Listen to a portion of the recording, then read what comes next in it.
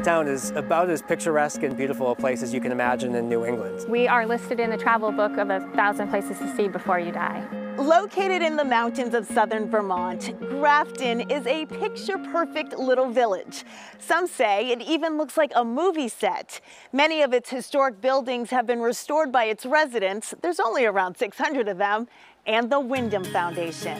The Windham Foundation's role really is truly unique in the way that it's just here to preserve the town. Started in 1963 by Dean Mathey, a financial investment banker from Princeton, New Jersey. He loved coming here.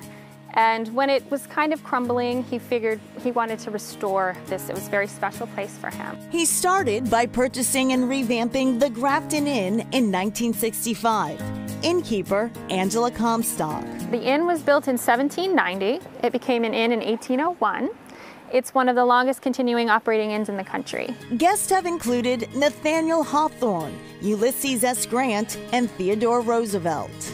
People come here, they sit on the porch, they relax, they hike the trails, they just take it all in.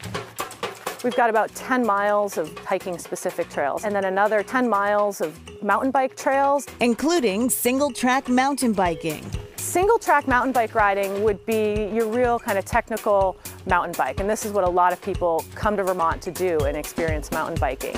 We have hand built mountain bike trails. So a lot of technical features. We've got rocks, roots, wooden features, bridges. That's what's drawing people here to ride on our trails specifically. No single track riding for me, but I did enjoy cruising along on my fat tire bike.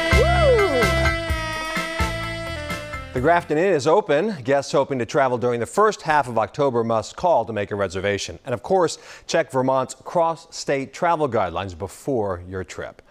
And that is Chronicle for tonight. Thanks so much for joining us, everyone. I'm Anthony Everett. Have a good evening, good weekend. Hope to see you back here on Monday night.